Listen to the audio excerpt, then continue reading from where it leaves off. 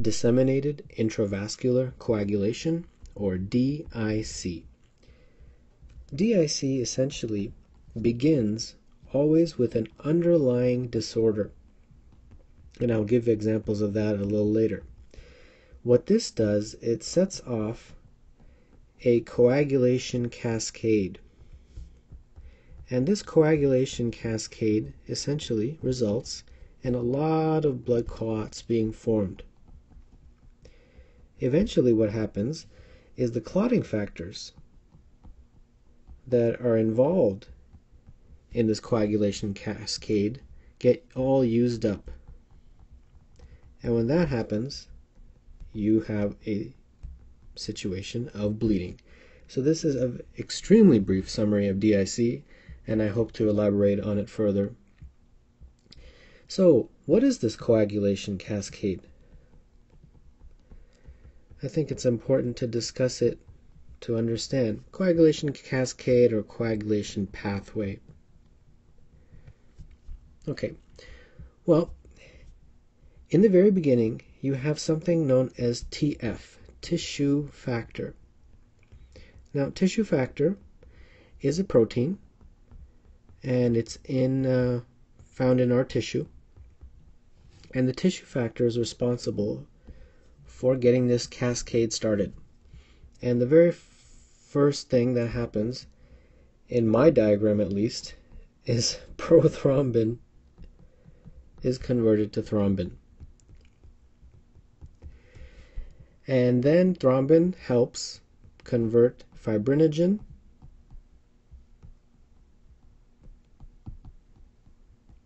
to fibrin.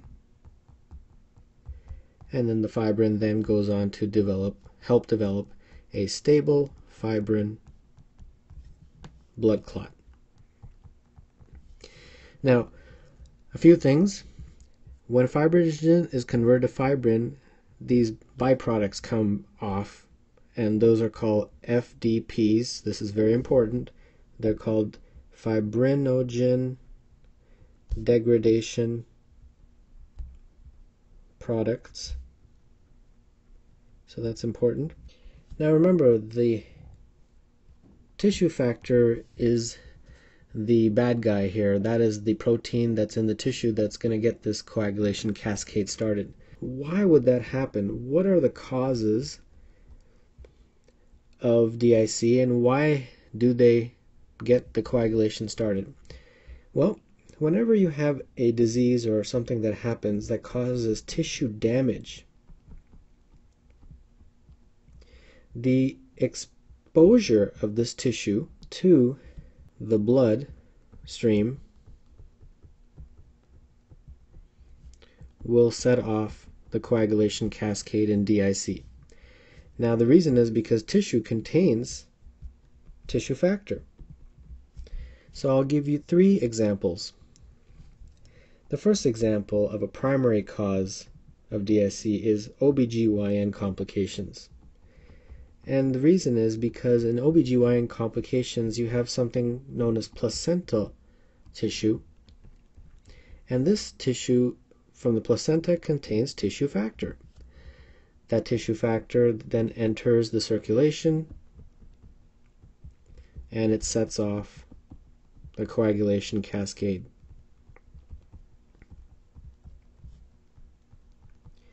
The next example of uh, primary disorder that can cause DIC is infection, and in particular, infection with gram negative organisms. And the reason is because gram negative bugs release an endotoxin, and that endotoxin generates and exposes tissue factor. Very important. And that tissue factor, of course, then goes on to initiate or start that coagulation cascade. Another uh, example, the third one that I wanted to give is cancer. Cancer can also be a primary reason why somebody can develop DIC. Why? Because tumor cells can also express and release tissue factor. So please keep that in mind. Now let's talk a little bit about the pathophysiology. DIC has two types. There's the slow DIC, known as slowly evolving, and then more commonly, you have the severe and rapidly evolving DIC. Now these two types of DICs have different presentation. The first one primarily presents with blood clots. So for example, deep venous thrombosis or pulmonary embolism. That will be the presenting symptom. More commonly, though, so you have severely rapid, uh, e rapidly evolving DIC, and that will present as bleeding. And the reason is because all the coagulation factors, along with fibrinogen, have been depleted. So keep those two types in mind. Now let's talk a little bit about the symptoms. Well, the symptoms really are associated really with the type. If it's a slowly evolving DIC, then you will have uh, symptoms of DVT, symptoms of pulmonary embolism.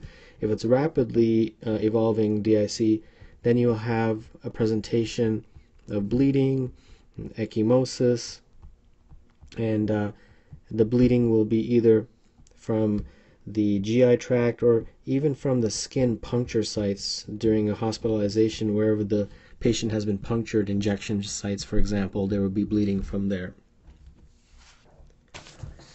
so now diagnosis something happened in the patient and now they've either developed a blood clot or severe bleeding and you want to make sure that this indeed is DIC. So what are the lab tests? Well, fortunately the results are the same for slowly evolving and rapidly evolving DIC. They're just a bit more extreme and rapidly evolving. So you're going to measure the PT, which is the prothrombin time, the PTT, partial thromboplastin time, fibrinogen, and very important, the fibrin degradation products that I drew in the first part of the video. So, what will it show? PT will be elevated. But in rapidly evolving DIC, it will be even more elevated. PTT will also be elevated, but in rapidly evolving DIC, it would be even greater fibrinogen will be decreased, fibrin degradation products will be increased. And there's one more lab value I'd want to definitely mention, and that's the platelet count. Platelets in both will be decreased, but they will be more decreased in rapidly evolving DIC. And one example of a fibrin degradation product is called D-dimer, just in case that show, shows up on a licensing exam you're wondering what exactly that is. That's just one of the types of fibrin degradation products. In terms of treatment, well, of course, you have to treat the underlying cause. What is the reason um, this person developed DIC? For example, if they developed it because of an infection, then you know you would give antibiotics. If they developed it because uh, they had some sort of uh, OBGYN complication, then you need to remove the tissue uh, that's placental tissue that's caused the DIC, things like that. But generally speaking, if the person has uh, severe bleeding with DIC, you need to give replacement therapy. And that involves giving platelet transfusions,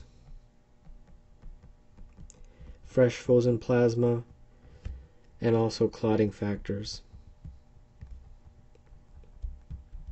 In contrast, if the patient has a situation of blood clots, which is the slowly evolving type of DIC, then you would treat that by giving heparin, which is, of course, uh, anticoagulation therapy.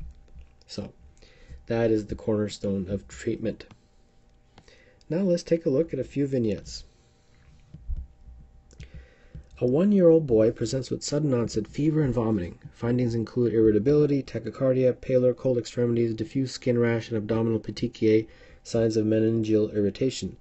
Blood tests show leukocytosis, markedly decreased platelet count, increased PT-PTT, decreased fibrinogen, elevated fibrin degradation products, elevated BUN, and metabolic acidosis.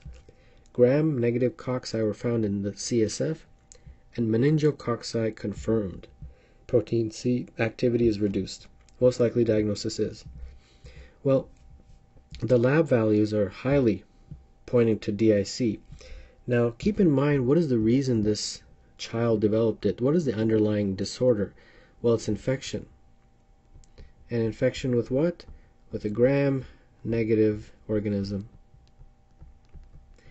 And just in case you forgot, in gram negative infections, the gram-negative endotoxin generates and exposes uh, the tissue factor that sets off the cascade uh, involved in DIC. Next question simply states, which of the following measures would you would be seen in a patient with DIC? Basically, they're saying, you know, what type of lab tests? Well, PT and PTT are both elevated. So let's see. We'll just keep going. And fibrinogen is decreased. So whichever one fits that category, not E, it looks like it's D. And then finally, you are called to see a 72 year old man with metastatic pancreatic adenocarcinoma who was admitted to the hospital for palliative gastrojejunostomy. His hospital course has been unremarkable, but today he developed hematemesis. His current meds include multivitamins, folate, and a fentanyl patch. When you arrive at his room, you see a thin, jaundiced man with an NG tube in place and multiple petechiae and dried blood around his nares and mouth. Temperature is 98, blood pressure is 98, pulse is 103, respiration is 25. His faint crackles bilaterally, the remainder of the exam is unremarkable. Platelet count is down to 45,000 from 120,000 three days earlier. Primary oncologist is concerned that the patient has developed DIC. The most appropriate next step is. Well, remember, cancer is one of the uh, causes of DIC because the tumor cells express and release uh, the tissue factor. And that tissue factor, of course, is responsible for getting that uh, coagulation cascade going. Uh, that is the fundamental uh, problem in DIC. So what should we do here? Well, we need to figure out if this patient's presentation is indeed DIC. So which lab tests would be helpful is what they're asking. And the most important ones, of course, are the PT and the PTT. And those are listed as choice B.